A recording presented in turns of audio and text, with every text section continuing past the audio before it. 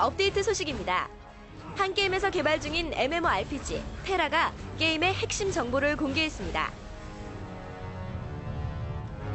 테라의 공식 홈페이지를 통해 매달 새로운 정보를 공개하고 있는 한게임은 이번 업데이트에서 거인족의 후예 바라카를 비롯해 마법도시 알레만시아와 high elf 종족을 공개했습니다. 또한 원거리 공격이 가능한 damage dealer 계열의 마법사와 치유, 보호의 능력을 지닌 보조 계열 사제 등 두 가지 클래스와 도시 정보 등 다양한 콘텐츠를 공개했습니다. 차세대 MMORPG로 기대를 모으는 테라는 오는 7월부터 본격적인 테스트를 진행할 예정이라고 합니다. FPS 게임 카스 온라인이 좀비 모드에 이어 신규 게임 모드인 수류탄전을 선보입니다. 수류탄전은 2초마다 자동으로 지급되는 수류탄을 이용해 상대방과 교전을 벌이는 방식으로 진행되는데 수류탄의 궤적과 폭발 시간 예측을 이용 선제 공격과 회피가 가능하다는 점이 특징입니다. 카스 온라인의 수류탄전은 폭탄 설치, 인질 구출 등 미션을 수행해야 하는 오리지널 모드와 팀 deathmatch, deathmatch를 지원합니다. 열혈 강호 온라인에서는 무기 변신 아이템 요화 청초를 선보입니다. 요화 청초를 사용하면 무기의 외형이 2시간 동안 다양한 야채로 변신하게 됩니다. 이때 각 직업에 따라 고추, 마늘, 당근 등 야채 모습으로 변형되는데 코믹한 야채 무기를 사용하면 경험치, 공격력, 무공 공격력이 추가 상승하여 buff 효과도 함께 누릴 수 있습니다. 열혈 강호 온라인은 요화 청초의 업데이트를 기념해 오는 23일까지 다양한 이벤트도 진행한다고 합니다. 레이싱 MMORPG 레이시티가 대규모 업데이트를 실시합니다. 이번 업데이트에서는 신규 스포츠카를 공개했는데요. V8 엔진을 장착해 100km의 속도를 4초 만에 돌파하는 슈퍼카 FX430과 국산 해치백 차량을 본떠 만든 하이설틴이 추가되었습니다. 또한 기존의 제한된 채널에서만 가능했던 질주 모드 시스템이 전 채널로 확대되었으며 기존보다 게임 머니와 아이템 혜택이 강화된 캡슐 아이템과 외형 복원 아이템 등 신규 아이템도 선보입니다. 캐주얼 퍼즐 게임 테트리스가 신규 대전 모드를 공개했습니다. 이번에 소개된 신규 모드는 레이스 모드와 서바이벌 모드로 먼저 레이스 모드는 별 모양으로 쌓인 블록을 최단 시간에 모두 없애는 게이머가 승리하게 됩니다. 서바이벌 모드는 게임 하단에 일정 간격으로 생성되는 블록 라인들을 없애며 가장 오래 살아남는 플레이어가 1위를 차지하는 방식으로 일체의 아이템 공격 없이 플레이어의 실력만으로 승부를 가리게 됩니다. 다음은 테스트 일정이 공개된 온라인 게임입니다. 드래곤 네스트가 오는 15일부터 나흘간 첫 번째 비공개 테스트를 실시합니다. 드래곤 네스트는 마을, dungeon이 별개의 zone으로 이루어진 좋은 방식의 게임으로 콘솔 게임 수준의 그래픽과 액션을 온라인으로 구현해낸 액션 MMORPG입니다. 이번 테스트에서는 warrior, archer, cleric, sorceress 등 게임 캐릭터와 13개의 던전, 그리고 캐릭터별로 나눠진 15개의 화려한 스킬과 20여 종의 몬스터 등 다양한 콘텐츠들이 공개될 예정입니다. 캐주얼 축구 게임 프리스타일 풋볼이 비공개 테스트를 진행합니다. 프리스타일 풋볼은 자유로운 게임 진행과 카툰 rendering 방식의 그래픽 등 프리스타일의 스타일을 그대로 이어받은 캐주얼 축구 게임으로 1인칭 슈팅 게임과 같은 시점과 컨트롤이 특징입니다. WASD 이동과 마우스 시점 전환을 선택하면 플레이어가 바라보고 겨냥하는 쪽으로 공을 찰 수 있어 현실감 넘치는 게임을 즐길 수 있습니다. 또한 공과 캐릭터를 100% 분리한 점도 주목할 만합니다. 캐릭터와 공의 실시간 충돌을 구현해 축구 특유의 예측하기 힘든 상황에서도 자유로운 패스와 슛이 가능합니다. 이 밖에도 지역 연구제, 리그제도, 각종 컵대회, 연봉 협상, 상위 리그 승격 등 실제 프로축구의 운영 형태를 게임에 적용할 예정이라고 합니다. 프리스타일 풋볼의 비공개 테스트는 오는 17일까지 계속되며 몇 차례 비공개 테스트를 거친 후 올 하반기 안에 정식 서비스될 예정입니다. 액션 RPG 마비노기 영웅전이 오는 18일부터 2차 비공개 테스트를 실시합니다. 마비노기 영웅전은 마비노기의 세계관을 계승하며 액션 리얼리티의 정수를 표방한 액션 온라인 게임으로 뛰어난 물리 환경을 바탕으로 한 액션성과 high-end급 비주얼이 특징입니다.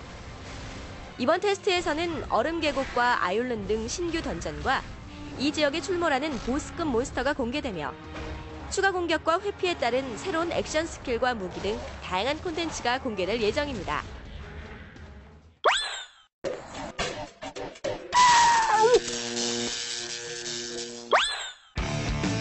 세계를 혼란에 빠뜨린다는 파멸의 일찍이 영웅이라 불리는 자들은 이 문을 보니 세상에는 평화가 찾아왔는데. 그러던 어느 날 악의 화신 마왕이 그 파멸의 문을 열고 맙니다. 파멸의 문이 열린 세상은 각종 전염병들과 괴물들로 들끓기 시작했고 왕은 네 명의 용사들에게 마왕을 처치하고 세상을 구원해 줄 것을 요청하게 되는데 과연 이 네 명의 용사들은 전설의 영웅들처럼 이 세계를 구해낼 수 있을까요? 오늘의 G exciting game 전설의 그 이름 다크씰입니다. 다크씰은 1990년 처음 등장하여 인기를 끈 고전 게임 중 하나로 횡scroll 방식이 대세였던 그 당시로서는 획기적이었던 대각선 방식의 quarter view 형식과 다양한 마법을 구사할 수 있는 마법 시스템으로 주목받은 RPG 스타일의 판타지 액션 게임이다.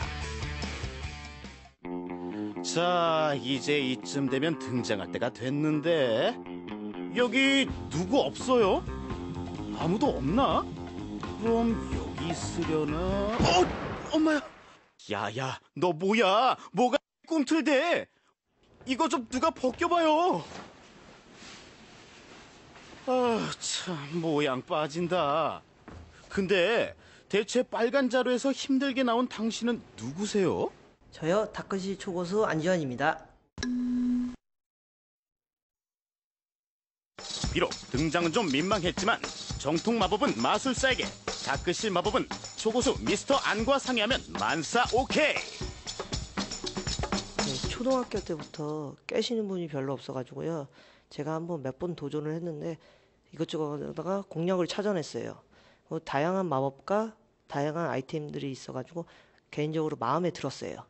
그래서 그게 하게 된 계기가 되었습니다. 공략을 찾아냈다?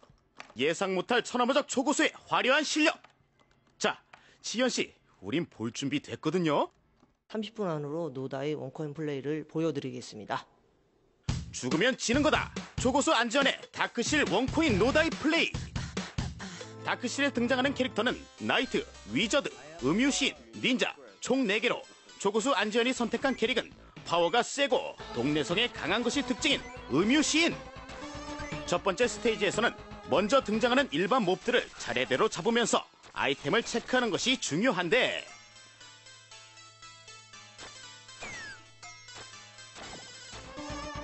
아이템 하나씩 툭툭 던져주는 이게 바로 보물 상자로구나. 원수는 외나무 다리에서 만난다더니 드디어 만났군 용가리 덤벼라. 네가 드래곤이야? 드래곤? 덤벼 용가리야. 영영 죽겠지. 첫 번째 보스를 잡기 위해선 불공격을 피해가면서 머리만 집중 공격하는 것이 공략의 노하우 되겠다.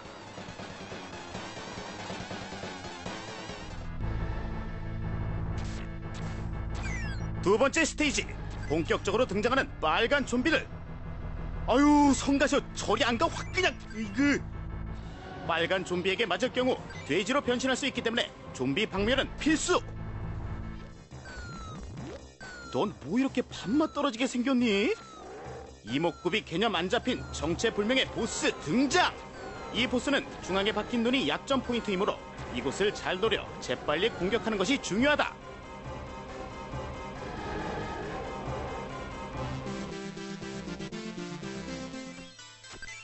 세 번째 스테이지에서는 이동 속도를 증가시켜주는 스피드 부츠를 습득하는 것이 첫 번째 임무인데 굴러오는 돌 피하랴 공중에서 날아오는 새 피하랴 어이구. 여기서는 빠른 팔과 신속한 공격이 필수다.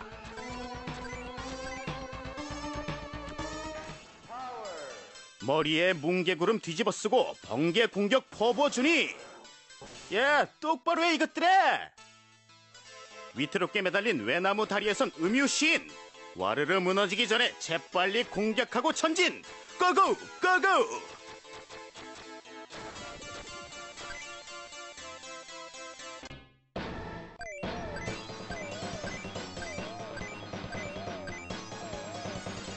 야야 넌 또 뭐니? 힘이 범상치 않은 이 자태. 눈은 다닥다닥부터 몇 개인지 모르겠고 triple 레이저 광선 사정없이 뿜어낸다. 슝슝. 그래도 약점은 있는 법. 어디 보자. 왕방울만한 눈이 영 거슬리는데. 어 좋아. 너 딱 걸렸어. 어디 한번 죽어봐라. 엽 괴상망측한 보스 눈알 떼굴떼굴 굴려대다 결국엔 꼴까닥. 지금까진 시작에 불과했다. 네 번째 스테이지에서부턴 난이도가 무척 어려워지는 상황. 이곳에서는 적이 등장하는 위치와 아이템을 습득할 수 있는 위치 등을 정확히 파악하고 있어야만 공략에 성공할 수 있다.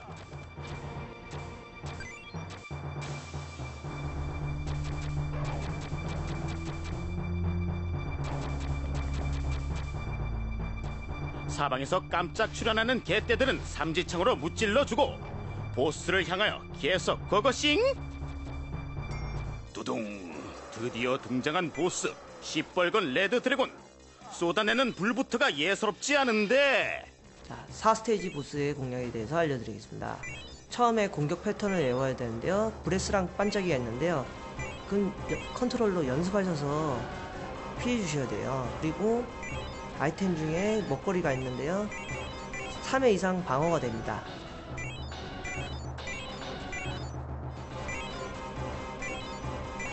초고수의 보스 공략 노하우 무기 삼아 그 무섭다는 레드 드래곤 공략도 가뿐히 성공. 헤. 이제 남은 무대는 단 하나. 초고수도 긴장되고 지켜보던 응원단도 긴장되긴 마찬가지. 드디어 final stage. 시작하자마자 출연하는 몬스터들. 참 종류도 가지각색 버라이어티한데. 좋아 좋아. 차례차례 한 놈도 남김없이 죄다 처리하고 나면 나타나는 그분 마지막 스테이지의 number two 중간 보스 되시겠다. final stage 중간 보스 공략에 대해서 알려드리겠습니다. 처음에 반짝이 공격이 있는데요. 그걸 맞으면 대지로 변합니다.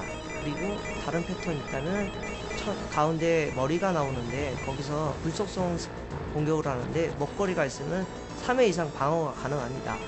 그 다음에 두 번째 패턴이 있는데요. 이쑤시개 공격 같은 게 있는, 있는데요. 거기서 갑옷이라는 아이템이 있어요. 그걸로 3회 이상 막아줄 수 있습니다. 그리고 마지막 패턴이 있는데요. 머리, 머리 에서 그냥 헤딩으로 들이대는 거예요. 그, 그냥 피해 주시면 돼요. 반짝이 공격은 목걸이로 이쑤시개로 찔러댈 때는 갑옷으로 헤딩으로 들이밀 땐 무조건 피하고 보라 이 말이지? 오케이 좋았어 이쑤시개 오기 전에 아 느낌이야 껌이지. 왔어. 드디어 문이 열리고 기괴한 웃음소리와 함께 등장한 어둠의 기사 다다다다 dark knight? final stage dark knight 공략을 위해선 칼찌르기, thunder고요, whirlwind 이, 이것을 잘 숙지해 주시면 클리어하기가 쉽습니다. 상하 좌우로 칼을 들고 회전 공격하는 기술인 whirlwind와 빠샤! 정면에서 attack을 가하는 칼찌르기 온몸에 기를 모아 단칼에 공격을 가하는 thunder 고역까지 이 세 가지 종류의 공격을 골고루 이용하면 참 쉽죠 이. 점점 시뻘겋게 damage는 마지막 보스 dark knight 결국엔 연기되어 홀연히 backstep과 함께 사라지시니 초고수 안전에 다크씰 one coin no die 클리어 성공! 그래 고맙다 얘들아 니들이 박수 치느라 고생이 많다 처음에 무지 떨렸는데요. 하다 보니까 다행히 노다이를 성공했어요. 도중에 위기도 있었는데 아무튼 재밌게 했습니다. 마법 없는 다크실은 안고 없는 찐빵 그것이 알고 싶다 다크실의 마법 다크실에는 다양한 마법과 다양한 아이템이 있는데 이것을 잘 이용해 주신다면 클리어하기가 매우 쉽습니다. 먼저 다크실의 마법 능력을 살펴보면 불꽃은 용암으로 변신 불구슬을 사용할 수 있고 번개는 공중에 뜬 구름 상태에서 번개를 사용. 빗물은 물 속성 공격을 가능하게 한다. 또한 메두사는 레이더 공격으로 몬스터를 원킬할 수 있고 쥐떼와 쇠공, 식물로 변신하여 적을 공격할 수도 있다. 그리고 착용하면 유용한 각종 장비 아이템으로는 이동 속도를 상승시키는 부츠와 공격력을 증가시키는 컨틀릿, 물리 공격을 막아주는 갑옷, 불과 물 속성 공격을 막아주는 목걸이와 반지가 있다. 화창한 봄날 마법과 함께 찾아온 다크실 초고수 안지현 여러분이 아시는 소닉 초고수 정현진이라는 분이 저를 추천해줬어요. 저 정도면 초고수라고 해서 나왔는데 잘 했는지 잘 모르겠네요. 제가 인터넷 방송국에서 타도라는 BJ로 활동하고 있어요. 고전 게임 좋아하시면 많이 많이 놀러와 주세요. 감사합니다. 흔들림 없는 최강의 컨트롤을 보여준 고전 게임 수호자 안지현 지현 씨 앞으로도 여러 친구들과 함께 추억의 고전 게임 사랑 쭉 이어나가시길 바랄게요.